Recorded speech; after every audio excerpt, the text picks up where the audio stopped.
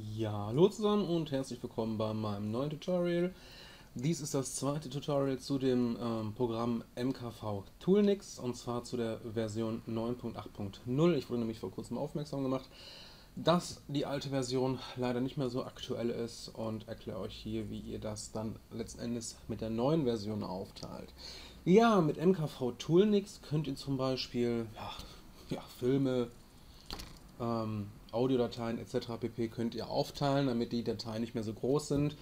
Ich habe zum Beispiel äh, hier einen Film, ähm, der hat eine Größe von 4,64 GB und daher möchte ich ihn natürlich dann in ähm, zwei Teilen aufteilen, sodass ich ihn dann auch auf externen Festplatten oder sonstiges oder auf CDs bringen kann oder weiß der Geier. Ja, das ist eigentlich das gleiche Prinzip wie vorher auch. Ihr zieht einfach nur eine Datei hier in das Programm rein. In diesem Fall ist es der Film Payback. Ähm, dann geht ihr hier oben auf Ausgabe.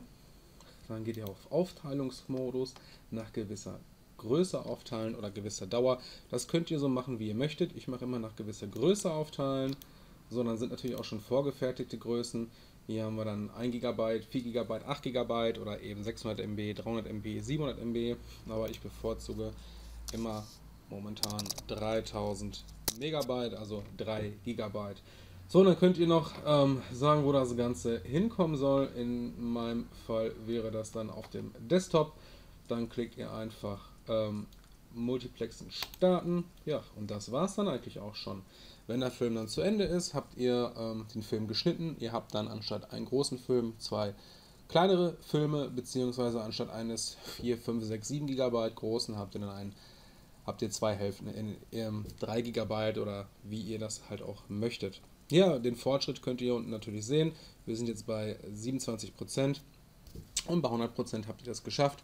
Und wenn ihr dann ähm, eine, einen neuen Film schneiden möchtet, dann empfehle ich euch einfach natürlich das Programm erst zu schließen und da neu aufzumachen. Ihr könnt es natürlich auch über einen Umweg machen, aber ich empfehle immer die Programme noch zu schließen, neu aufzumachen und dann habt ihr zumindest nichts mehr von einem Vorgängerprogramm bzw. von dem Vorgängervideo in eurem Programm integriert. Ja, ich bedanke mich fürs Zuschauen, hoffe ich konnte, äh, konnte euch ähm, helfen. Wenn ihr Fragen habt, dann fragt ruhig alles mögliche in die Kommentare bitte. Einen Daumen nach oben, darüber freut mich sowieso immer, wie ihr wisst. Ansonsten wünsche ich euch viel Spaß mit dem Programm und sowieso auch viel Spaß mit den Filmen und bedanke mich. Bye bye!